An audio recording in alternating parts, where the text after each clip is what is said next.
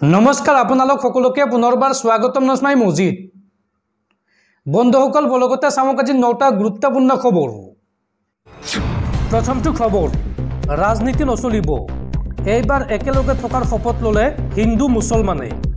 শান্তি ৰক্ষণ কৰাৰ লক্ষ্যৰে একত্ৰিত হ'ল ৰাজ্যৰ হিন্দু মুছলমানসকল। শান্তি ৰক্ষণ কৰাৰ লক্ষ্যৰে এইবাৰ একত্ৰিত হ'ল ৰাজ্যৰ হিন্দু মুছলমান। মিলা প্ৰীতিৰে থাকিম বুলি শপত ল'লে শ শ লোকে। দৰঙৰ ধোলাত মুকলি আকাশৰ তলত হিন্দু মুছলমানে ল'লে এই সংকল্প। কোনো অপশক্তিকে আমি প্ৰশ্ৰয় নিদিওঁ বুলি মন্তব্য শ শ লোকৰ। আৰু দৰঙৰ পৰাই যাব শান্তিৰ বাৰ্তা। হিন্দু মুছলমানসকলক সদায় ভাই ভাই।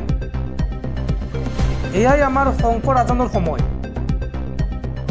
সনাতন ধৰ্মৰ মন্দিৰ প্ৰাংগণলৈ ওলাই আহিল মুছলমান সমাজ। আৰু সৰ্বধৰ্মীয় শান্তি সন্মিলনৰ উদ্যোগত উলিওৱা হয় এক বিশাল ৰেলী।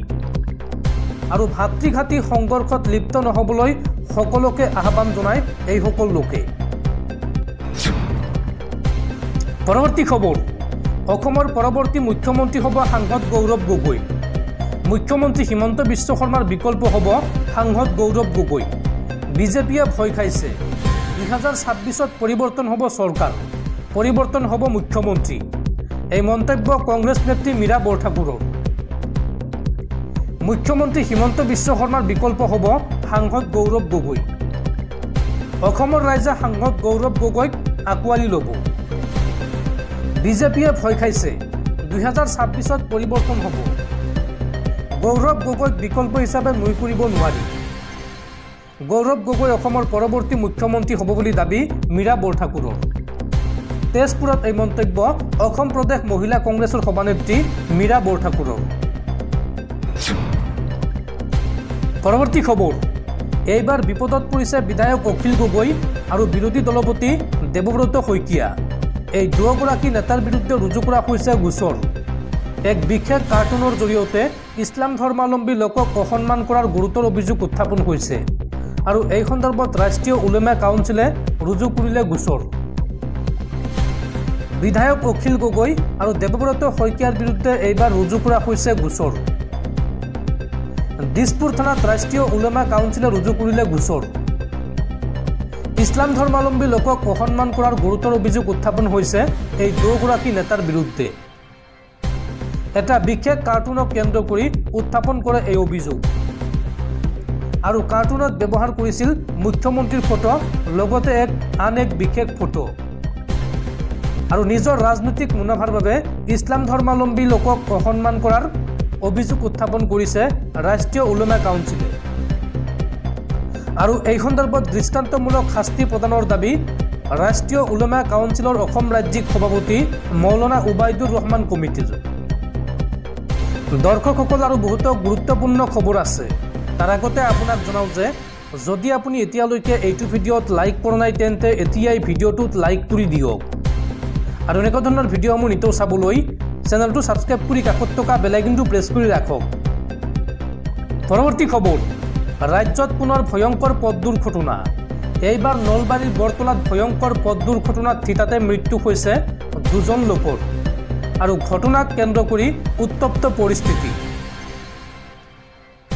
এইবাৰ মোকালমোৱাৰ বৰতলাত ভয়ংকৰ পথ দুৰ্ঘটনাত নিহত হৈছে দুজনকৈ লোক। হাজু হাজু দৌলাহাল পথত মৃতদেহ ৰাখি উত্তেজিত ৰাইজৰ পথ অৱৰোধ। খোজকাঢ়ি গৈ থকা দুজন ব্যক্তিক প্ৰচণ্ড জোৰে খুন্দা মাৰে এখন অচিনাক্ত বাহনে। আৰু এই ঘটনাত থিতাতে নিহত হয় প্ৰভাত মেটি বাৱন্ন বছৰ আৰু হেমন্ত বৰ্মন পঁয়ত্ৰিছ বছৰ। দুৰ্ঘটনা সংঘটিত কৰিয়েই বাহনখন ঘটনাস্থলীৰ পৰা পলায়ন কৰে। আৰু ইয়াৰ পিছতে উত্তেজিত হৈ পৰে স্থানীয় লোকসকল। প্ৰভাত মেধিৰ মৃতদেহ ৰাখি পথ অৱৰোধ কৰি প্ৰতিবাদ সাব্যস্ত কৰে স্থানীয় লোকে। আৰু এই সন্দৰ্ভত বৰতলা চুকত গতিৰোধক ব্যৱস্থা গঢ়ি তোলাৰ দাবী প্ৰতিবাদী জনতাৰ।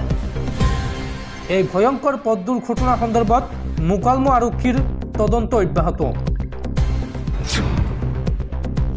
পৰৱৰ্তী খবৰ। ৰাজ্যত পুনৰ ভূমিকম্পৰ জোকাৰণি। এই ভূমিকম্পত কঁপি উঠিল গুৱাহাটী মহানগৰীৰ লগতে ইয়াৰ উপকণ্ঠ অঞ্চলসমূহ। দেওবাৰে সন্ধিয়া ছয় বাজি একাৱন্ন মিনিটত অনুভূত হয় এই ভূমিকম্পৰ জোকাৰণি আৰু ৰিক্টাৰ স্কেলত এই ভূমিকম্পৰ প্ৰাবল্য আছিল চাৰি দশমিক তিনি। পৰৱৰ্তী খবৰ। সৌদ অসম ছাত্ৰ সন্থাৰ ডিব্ৰুগড় জিলাৰ প্ৰাক্তন সভাপতি অৱনী গগৈৰ বিজেপিত যোগদান। বিধায়ক তৰংগ গগৈৰ উপস্থিতিত মুখ্যমন্ত্ৰীৰ ওচৰত গেৰুৱা বসন পৰিধান কৰে আছু নেতাগৰাকীয়ে। পৰৱৰ্তী খবৰ। অৱশেষত মুখ খুলিলে মিয়া গীত গাই ভাইৰেল হোৱা আলতাফ হুছেইনে আৰক্ষীয়ে গ্ৰেপ্তাৰ কৰাৰ পিছত আলতাফ হুছেইনক আদালতত হাজিৰ কৰোৱা হৈছিল আৰু সেই সময়ত সাংবাদিকৰ আগত অকপট স্বীকাৰোক্তি আলতাফ হুছেইনৰ আলতাফ হুছেইনে মন্তব্য কৰি কয় যে মিয়া মানুহৰ বিৰুদ্ধে অন্যায় অত্যাচাৰ আৰু অপপ্ৰচাৰ চলিছিল আৰু তাৰ বিৰুদ্ধে গান ৰচিছিলোঁ সেইবাবে মোক আৰক্ষীয়ে গ্ৰেপ্তাৰ কৰিছে। এই বুলি অকপট স্বীকাৰোক্তি আলতাফ হুছেইনৰ মিয়া মানুহৰ ওপৰত হোৱা অন্যায় অপপ্ৰচাৰৰ বিৰুদ্ধেহে গান ৰচিছিলোঁ এই মন্তব্য আলতাফ হুছেইনৰ আৰু সেইবাবে মোক গ্ৰেপ্তাৰ কৰিছে বুলি মন্তব্য কৰিছে আলতাফ হুছেইনে মিয়া গীত গাই প্ৰতিবাদ কৰিছিলোঁ বুলি স্বীকাৰ আলতাফ হুছেইনৰ আৰু গৌৰীপুৰ আৰক্ষীয়ে ধুবুৰী আদালতত হাজিৰ কৰাই আলতাফ হুছেইনক। আৰু সেই সময়ত সাংবাদিকৰ আগত মন্তব্য কৰি কয় যে মিয়া মানুহৰ ওপৰত হোৱা অন্যায় অপপ্ৰচাৰৰ বিৰুদ্ধে গান ৰচিছিলোঁ যাৰ বাবে এতিয়া আৰক্ষীয়ে গ্ৰেপ্তাৰ কৰিছে মোক। এই বুলি অকপট স্বীকাৰোক্তি আলতাফ হুছেইনৰ। পৰৱৰ্তী খবৰ স্মাৰ্ট মিটাৰৰ বিৰুদ্ধে ৰাজ্যজুৰি অব্যাহত আছে প্ৰতিবাদ। আৰু তাৰ মাজতে এই সন্দৰ্ভত মুখ খুলিছে ৰাজ্য চৰকাৰৰ কেবিনেট মন্ত্ৰী যোগেন মোহনে। যোগেন মোহনে এই সন্দৰ্ভত মন্তব্য কৰি কয় যে বৰ্তমান কাৰেণ্টৰ ব্যৱহাৰ বেছি হৈছে যাৰ বাবে বিল বেছিকৈ আহিছে। স্মাৰ্ট মিটাৰ বিতৰ্ক সন্দৰ্ভত এই মন্তব্য অসম চৰকাৰৰ কেবিনেট মন্ত্ৰী যোগেন মোহনৰ। কাৰেণ্টৰ ব্যৱহাৰ বৰ্তমান বেছি হৈছে যাৰ বাবে বিল বেছিকৈ আহিছে।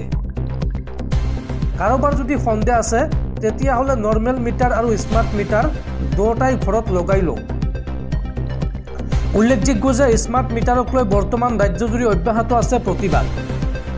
আৰু এই প্ৰতিবাদৰ মাজতে এই প্ৰতিক্ৰিয়া মন্ত্ৰী যোগেন মোহনৰ পৰৱৰ্তী খবৰ। অৱশেষত আনুষ্ঠানিকভাৱে তৃণমূল কংগ্ৰেছ ত্যাগ কৰিলে ৰিপুণ বৰাই। তৃণমূল কংগ্ৰেছক অসমৰ মানুহে গ্ৰহণ নকৰে। তৃণমূল কংগ্ৰেছ ত্যাগ কৰি এই মন্তব্য ৰিপুণ বৰাৰ।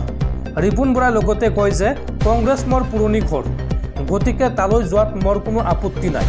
সেয়েহে অতি শীঘ্ৰেই কংগ্ৰেছত যোগদান কৰিব পাৰে ৰিপুণ বৰাই। তৃণমূল কংগ্ৰেছক অসমৰ মানুহে গ্ৰহণ নকৰে। তৃণমূল কংগ্ৰেছ ত্যাগ কৰি এই মন্তব্য ৰিপুণ বৰাৰ। ৰিপুণ বৰাই লগতে মন্তব্য কৰি কয় যে কংগ্ৰেছ মোৰ পুৰণি ঘৰ গতিকে তালৈ যোৱাত মোৰ কোনো আপত্তি নাই। অৱশ্যে বিৰোধী শিবিৰতে থাকিম বুলি মন্তব্য কৰে ৰিপুণ বৰাই। তৃণমূল কংগ্ৰেছক অসমৰ মানুহে গ্ৰহণ নকৰে। এই মন্তব্য ৰিপুণ বৰাৰ।